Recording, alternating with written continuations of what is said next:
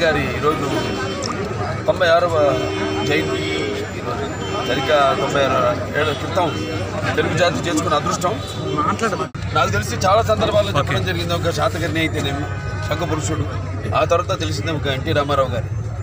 అంటే ఆనాడు ఎలాగైతే ఈ యొక్క విదేశీయుల దురాక్రమణ నుంచి మన దేశాన్ని దేశాన్ని కాపాడడానికి ఆనాడు ఎలాగైతే కంగనబద్ధుడయ్యాడో శాతకర్ణి అలాగే మరి తర్వాత ఒక దిక్కు తోచని మన తెలుగు జాతికి. నేనున్నాను అంటూ ఆనాడు. మరి మన తెలుగు జాతి యొక్క ఆత్మగౌరవ ఢిల్లీ వీధుల్లో తాకట్టు పడిన మనుషులే.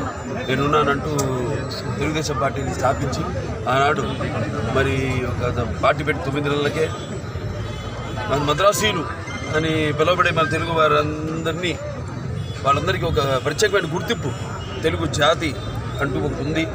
అని ఒక గుర్తింపు తీసుకొచ్చిన మహానుభావుడు నందమూరి తారక రామారావు గారు. అలాగే అంతవరకు అధికారంలో ఉన్న పదవులకు దూరంగా ఉన్న బడు బలిగిన వర్గాలు అయితేనేమి వెనుకబడిన తరగతులు పీడిత పాడిత కులాలు అయితేనేమి అలాగే మైనారిటీలు అందరూ కూడా జీవితనిచ్చి వాళ్ళ వాళ్ళందరికీ కూడా ఈ అధికారంలో ఉన్న పదవులు కట్టబెట్టిన మహానుభావుడు నందమూరి తారక రామారావు. ఎందుకంటే ఇక్కడ రెండు రకాలుగా ఒకటేమో రామారావు గారి నుంచి ప్రాతినిధ్యం వహించడం రెండోది భౌగోళికంగా ఇక్కడ ఎంతో అభివృద్ధి చెందడానికి అవకాశం ఉండడం. ఇక్కడ అతి తక్కువ వర్షపాతం నీటి ఎద్దడి ఉన్నాయి.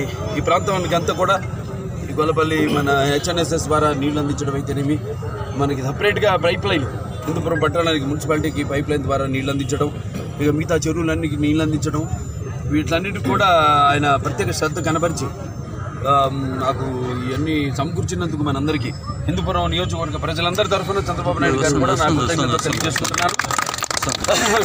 వస్తుంది సరే ఇవాళ ఇన్ని అభివృద్ధి కార్యక్రమాలు చేసినా మనం రాష్ట్రం అంతా చూసుకుంటే ఇన్ని సంక్షేమ పథకాలు అందజేసినా మరి మనకి ఎందుకు ఈ యొక్క ఈ వీటి యొక్క ప్రభావం?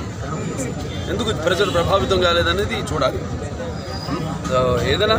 ఇంకా ముందు ముందు ఎన్నో చలమత్తూరు కూడా అదేది మన లిఫ్ట్ ఇరిగేషన్ ఎత్తిపోతల పథకం. దానికి ఏడీబీ కూడా వెళ్ళింది అది.